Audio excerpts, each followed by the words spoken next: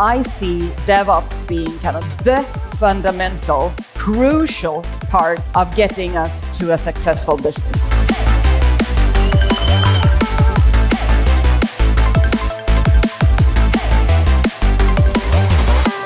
AI is assuring us it's it's okay, we'll, we'll survive. And how we'll survive is obviously by using more AI. We bring you the Ariel Moscovich Memorial Award for Excellence in Tech.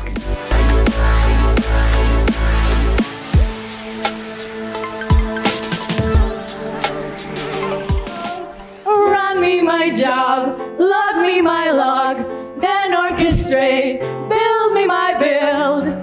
Unless you cannot.